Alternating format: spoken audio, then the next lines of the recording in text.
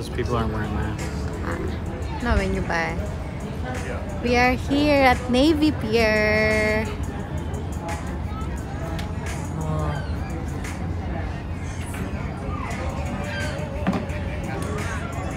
Sasakay ba ako dyan?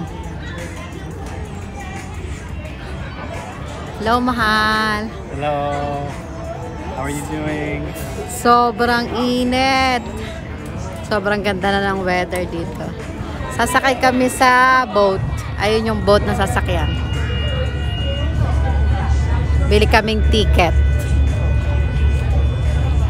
For how many minutes, mahal? 30? 30 minute lakefront speedboat ride. There, the 30 minutes. It's 34 for one person. That's. For 30 minutes.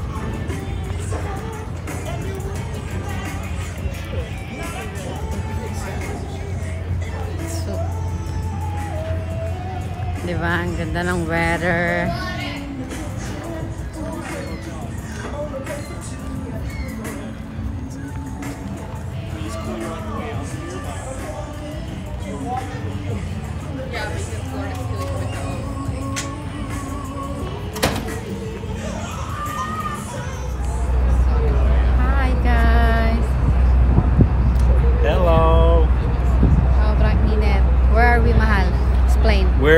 Shoreline Sightseeing and we're doing an architecture tour where we're going to go into the canals inside Chicago and look at the architecture along the canal system. It's like we are on uh, a ferry or boat. What is it? Yeah, it could be a Ferry. ferry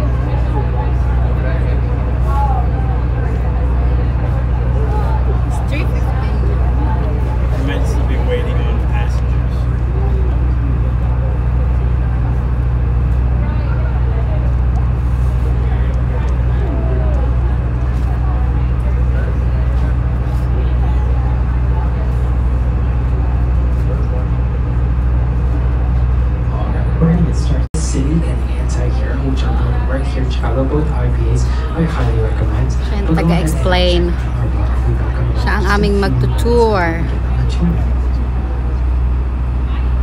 Para siyang ano guys, ah nakasakay kami sa ferry tapos itutour niya kami sa buong sightseeing dito sa Chicago, yung mga building.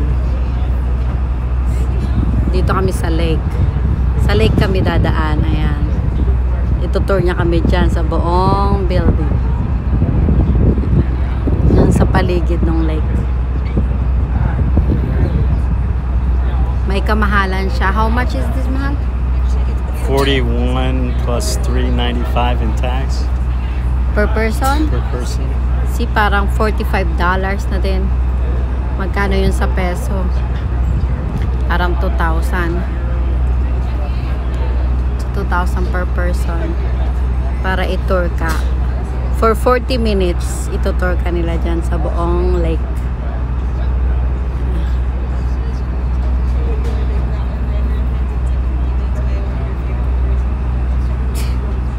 So, I'll be using the Chicago. City flag as a prop. It's this flag directly to our left right here.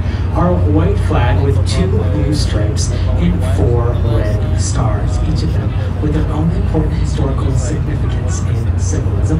By the time we get back to our dock here, you will be a Chicago history and architecture whiz kid, I assure you. Now, a few very important safety announcements. First and foremost, we are a Coast Guard inspected vessel, which means we have life jackets on board for everyone here, located in these boxes here. In a very unlikely event of emergency, our crew members will help you to put those on. Second thing, second, please do not stand or kneel on any of these benches. Please keep all arms and legs inside the ride at all times. We will be passing under some very low bridges today. Please resist the very human urge to reach up and touch something that might take your hand clean off. And also, we have one very important life-saving apparatus for you here, and that's our full service bar in the back, of course. We have bottled water, chips, pretzels, as well as beer, wine, mixed drink. The uh, pink vodka pink lemonade looks especially appetizing today. But visit early, visit often, and you should be having a great ride. Now, you are just at Navy Pier. Navy Pier.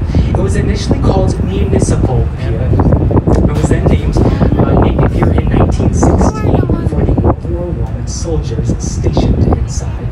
It was then it then became a completely recreational pier. That is until 1941. See, we turned it into a naval base. Why is that? Because Lake Michigan is very important to us here in the United States. Lake Michigan is surrounded on all of its sides by Lake Michigan is all American water. That's why we had our naval base here. Specifically here in Chicago, we were training pilots to land and take their planes off of aircraft carriers. American tribes, primarily the Council of Three Fires. That's the Potawatomi, the Ottawa, and Ojibwe tribes. We also had some Miami and Illinois tribes here as well.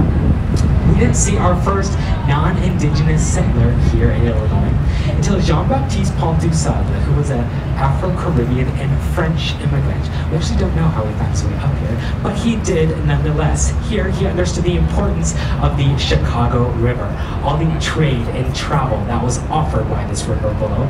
So he built his trading post in his home here at the mouth of our river from then on. He set up one of the most advantageous travel and trade routes in the entire North American continent. He us, he connected us here in Chicago all the way up to Montreal in Canada, as well as Albany, New York, and all the way down to New Orleans in Louisiana. Soon, houses began sprouting up around his trading post, a small village, and soon after, Americans then wanted to expand a little bit further west, our westward expansion, or AFSXP. Soon came out here in Chicago in 1803, Fort Dearborn, which is the first permanent military settlement this far west at that time, and that's where we get our first red star, Fort Dearborn, located right here on the banks of the Chicago River. Soon, we were established as a township in 1833 with about 400 people. We were then established as the city of Chicago only four years later in 1837 with about 4,000 people. And that is the very beginnings of our city of Chicago, our first Red Star, Fort Dearborn. Now, diving into the architecture here, on our left, you'll see three curving glass structures here. These three columns make up Vista Tower. Vista Tower, we're actually still completing the construction on this one. If you see strings hanging from this tallest, this tallest column, we are actually finishing just sealing up the windows on the top few floors. But this will be home to the five-star Vista Hotel as one as, as well as the tallest and priciest condos in our city. See the penthouse for the middle tower last year, before this building was even completed, went for $18.5 million. That's the fifth most expensive home sale here in Chicago. Now, I was talking about finishing just sealing those windows. If you look up on the tallest tower, you can see two floors. It looks like we haven't put the windows on them yet. These are the 83rd and 84th floors. Those are actually complete. Here in Chicago, our nickname is the Windy City. That really doesn't have anything to do with our weather. We'll learn about why a little bit later. But we still experience very strong gusts of wind that causes our buildings to move side to side, to sway in the wind. The technical term for this is drift, and this is how Jeanne Gang and Studio Gang plans to offset drift on Vista Tower. So that floor is completely hollow except for the elevator shaft and these stairs, as well as the building's structural support. The idea being that instead of the face of this building, except the front of the wind, the wind will just blow through these floors. Now, directly underneath these buildings, we have Wacker Drive. This was established in the 1909 plan of Chicago. We set up the foundations of our city here, and many, uh, many things that we enjoy about our city of Chicago today. This being one of them. This is how we keep our city so clean. See up top, this is where we have our pedestrian walkways. This is where we all live. This is where we all visit. We just see the top of Wacker Drive here. Underneath, we have our highway, Wacker Drive, of course. But this is also where we take out all of our trash. It's where we make all of our deliveries for the skyscrapers within our city, Lower Wacker Drive. As well as Wacker Drive in the very hours of the morning, this is where you can spot some of the fanciest cars in our city racing around underneath our city. It's very um, entertaining to think about, not very entertaining to be a part of, I assure you. It's a little bit scary, but if you're interested in sports cars, just at 2 a.m., head on down to Lower Wacker Drive, of course. As we come out from underneath the bridge, we'll get a beautiful view of some of the most iconic buildings in our city of Chicago today. The first one that we're going to talk about the Wrigley Building. The Wrigley Building was completed in two foul swoops. The South Tower, the one with the clock tower on top, in 1921. The North Tower in 1924. There's a bridge connecting these towers. That was built in 1931 because of that bridge, this is actually technically office building that bridge connected it. This building is designed in a style of architecture that we call Spanish Revival. It is the first evolution of architecture that we're going to be talking about. What is a Spanish building? Why is it right here in Chicago? We'll see our architects and designers at that time, as well as the businessmen inside these buildings. Many of them have been educated. They're subscribing to Eurocentric ideas of beauty. That's where we get these revivalist styles. See that clock tower on top? That is almost an exact match for La Giralda Clock Tower on the Seville Cathedral in Seville, Spain. Now, if you look at the outside of the Wrigley Building, you'll notice it's not just one color of tile. It's actually six different shades of terracotta tile. Terracotta tile is very important to us here in Chicago. First, it is completely fireproof. We'll learn about that at some point. Unfortunately, terracotta tile is very delicate, as am I. It must be hand washed once a year, as do I.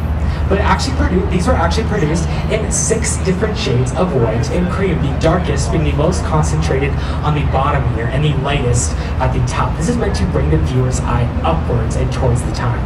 And speaking about that time, the face of that clock, there's an urban legend that those numerals are actually W's. Unfortunately, they're just tick marks. That's just an urban legend. Being busted here on our river cruise today. Take that one to bar. As we come out from underneath the bridge, you will see the second tallest building on our Chicago city skyline today. That's the Trump International Hotel and Tower. Now, this building is designed in a style of architecture called contextualism. Now, contextualism aims to create a conversation with the attributes about its location.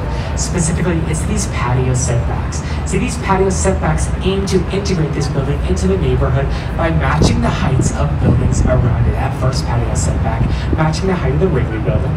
The second, the Mather Tower, just this couple of buildings to our left here across the river.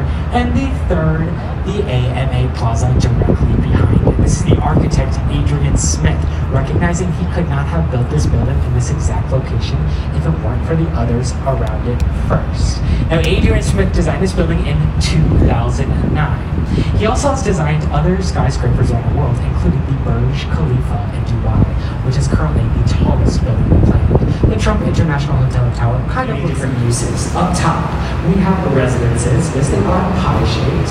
Below, we have a parking garage. On our first floor, restaurants, of course. We also have a corner store, a cleaners, and ice cream. Connection to the House of Blues, the former movie theater for this place, as well as an arena down below. Everything you could possibly want in one complex. Now, both of these buildings are modernist in style. See, an important tenet of modernism is that form follows function. Mies van der didn't need to create these very fancy buildings because all that was going to be going on inside was just office work. All they needed was a big empty space to put desks. Whereas Bertrand Goldberg was designing, this is very important to us. This is where all the three branches of the Chicago River converge. The main branch, which we're on right now, the South Branch from the south, the North Branch from the north, of course. Today, this is the trophy case of architecture here in Chicago.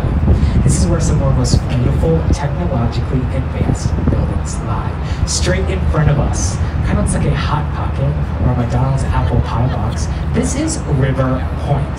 Now, this plot of land actually sat empty for many, many years. We did not know what to build here. Why is that? Well, see these circular